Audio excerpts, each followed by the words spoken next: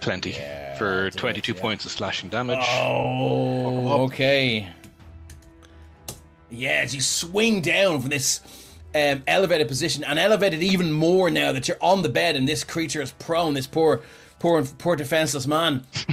um, you just ram the glaive straight through, almost pinning him to the floor. So you hear that that familiar parting of flesh and that slushing sound as a blade just passes straight through the side of his his uh, waist and just straight through and through into the floor. You twist and pull it out, leaving a goblet of uh, thick blood on the floor.